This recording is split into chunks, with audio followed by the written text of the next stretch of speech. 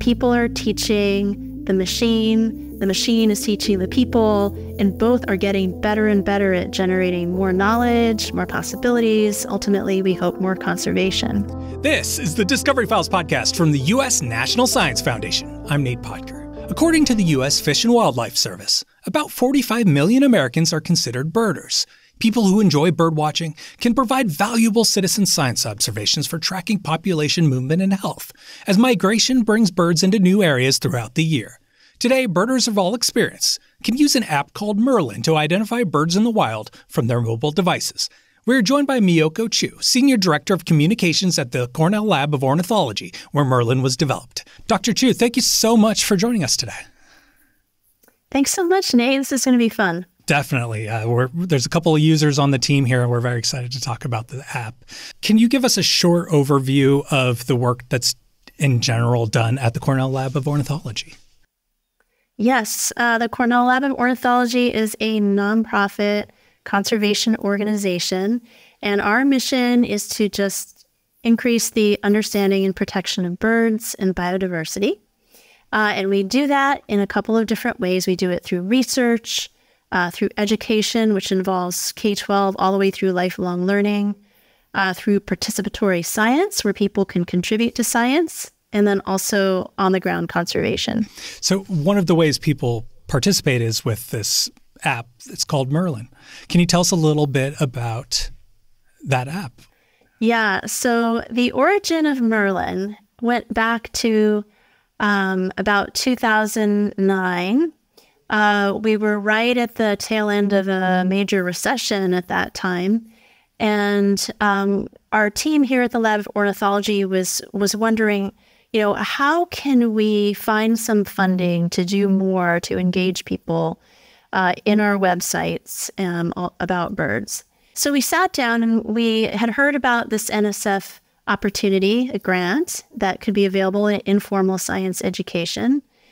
And we said, what could we do that could be valuable? And we noticed that when you look at our All About Birds website, which is like the online encyclopedia of birds, uh, and you, you looked at what people were typing into the search box, it was things like uh, little brown bird with a white line uh, and a red bird with a crest. You know, so there were these descriptors where clearly people were trying to identify birds using our website as a bird identification tool.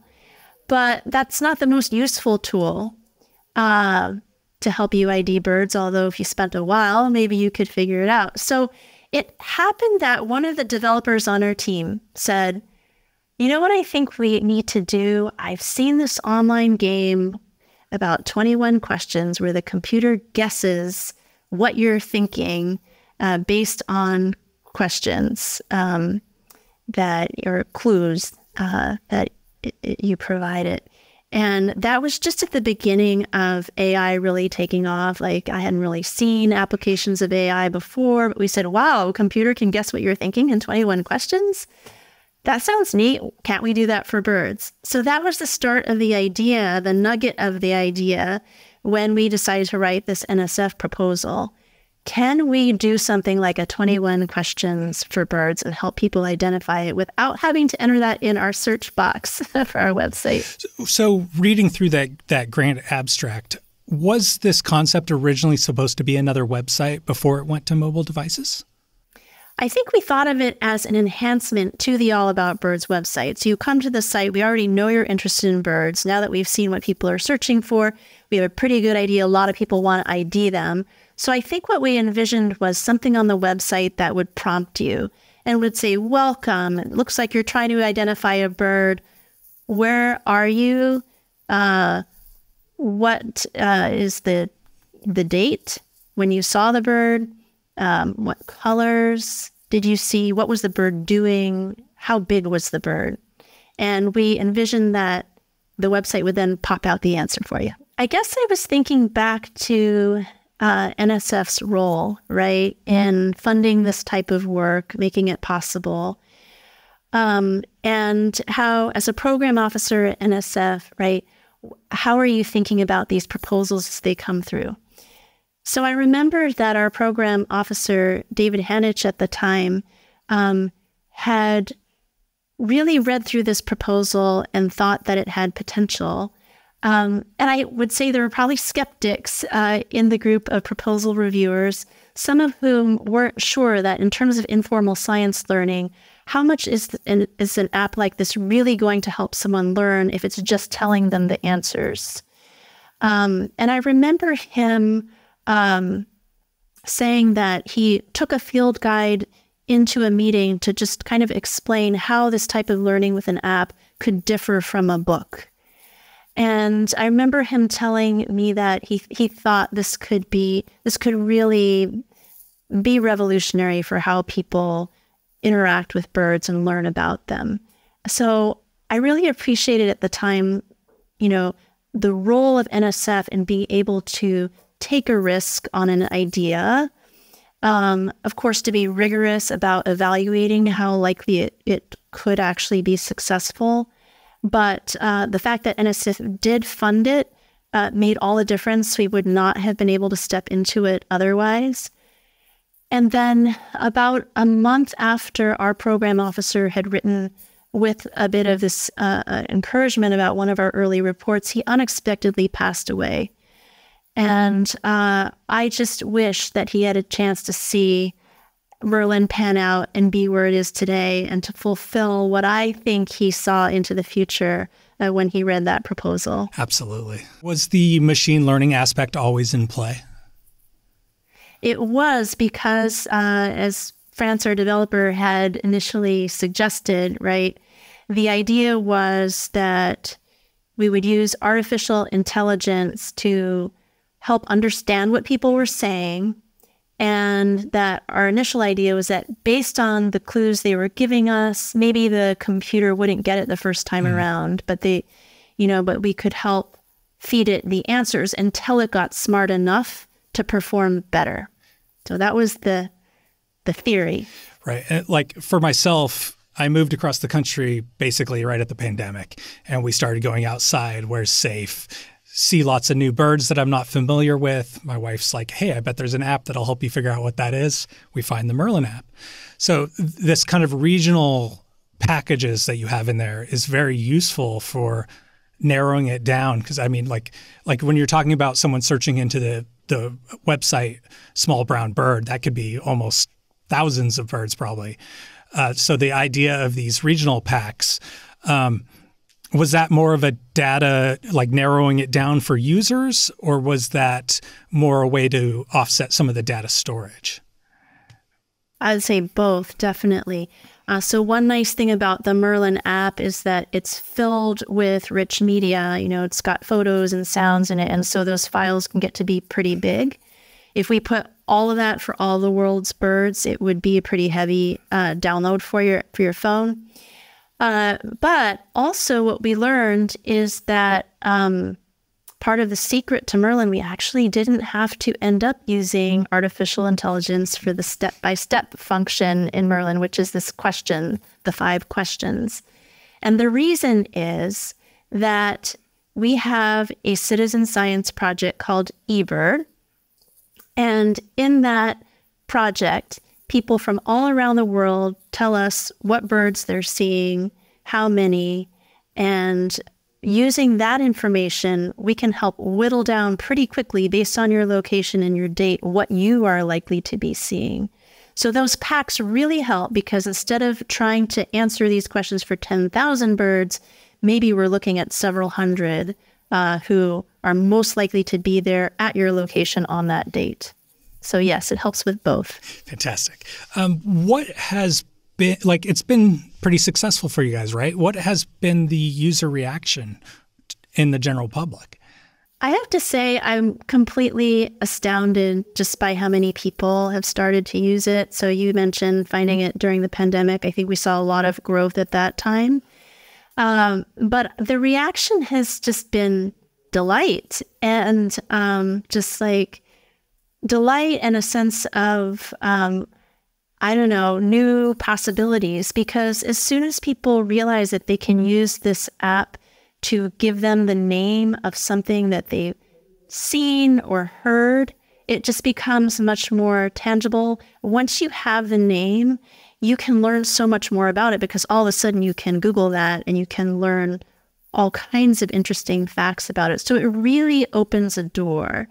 And the way we always wanted Merlin to feel was as if it was your personal coach, that you were just outside, that you saw something that mystified you, and that your coach would just be right there with you to help you, you know, give a name to it so that you could learn more. Beyond the five questions, there's now a couple different things that got introduced over the years to the app. One is the photo ID function. Can we start with what is the photo or what are you able to use the photo ID for and what is the public response to that been? Well, yeah, this is where we do get into um, artificial intelligence and machine learning. So, with the Merlin app, you can choose the function to ID a photo. And if you get a photo, um, Merlin will just identify it based on visual recognition. And I would say today that probably seems more commonplace. There's a lot of apps now that can do that for different kinds of objects, for facial recognition of people, obviously, as well as different plants and animals. But at the time, there were really very few, if any, apps that could do that well, and certainly not for birds. Um, and so what was really exciting about this collaboration is that we uh, worked with um, a lab at the time at UC San Diego uh, who were doing a project called Visipedia. And if I remember correctly, I think they were focused on butterflies and maybe fungi. But the processes that you use are the same, regardless of what you're looking at. And we were very fortunate to have uh, Grant Van Horn from that lab and Serge Belongie, who uh, helped us develop that specifically for Merlin. Uh, so, in terms of the reaction, it's just great to see people having fun uh, getting that mystery bird on their phone, having the you know suggestions pop up about what it is, it just makes it so much easier. Now, one of the other developments since then is an audio, a sound ID portion. Can you talk a little bit about that bit of it? Yeah, I feel like this one was a real game changer because identifying birds by sound is like the the holy grail. A lot of people hear sound all the time it can be really difficult to spot the bird often. And so it can be really like, you know, frustrating because you keep hearing it and you just never get that great look. Uh, so people had been asking us for a long time, well, why don't you just do the Shazam for birds? You know, why can't you just do that? You can already do an entire song. Why not birds? Well, it turns out that the challenge is much greater with birds than with songs on the radio. And that's because standard songs, they're, they're the same each time. And so that you can train the computer on that very well. But birds have variation in their song, uh, there's regional variation, and also there's a lot of background noise that confuses these algorithms. And so, honestly, the breakthrough came when rather than trying to train the computer based on the acoustic properties of the sound, our scientists trained Merlin based on the picture of the sound. So it's really similar to photo ID, except Merlin's looking at the picture of the sound. Uh, and once they figured that out, uh, it actually went really quickly to train uh, Merlin how to recognize these sounds. And when I say game changer, I mean as soon as that feature became available, we saw the download rate go up, the usage go up, the enthusiasm go up. Uh, so many people tell us that that has been phenomenal. Uh, and we also get really nice comments from people who may be visually impaired or who may have hearing loss, who are also using that in a way to enhance their experience. Because not only can you upload a sound, you can play back sounds from the birds too. To like, oh, I think it's this one, but is it this one? You can do a little bit of that.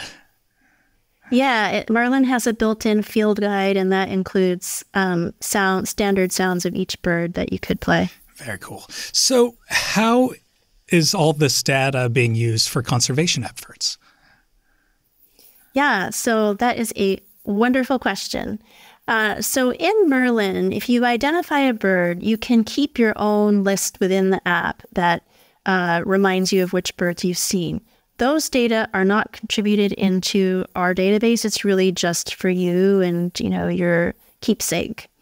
But um, Merlin does give you an option to join eBird. And eBird is a participatory science project where no matter where you are in the world, any time of year, you can upload the checklist of the birds that you see into eBird.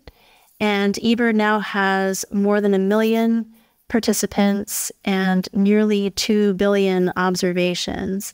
And that is an incredibly powerful source to help us understand the 11,000 bird species on Earth and how they're doing uh, day to day, year to year. Uh, and also gives us a lot of rich information that conservationists can use for decisions about managing populations, about addressing threats, and ensuring that we have healthy bird populations wherever possible. One of the most beautiful ways that Merlin works is by combining the power of millions of people's efforts and their observations with the power of machines. So, if you think about it, no single scientist could tell you which species of birds are likely to be seen at this moment for every location in the world.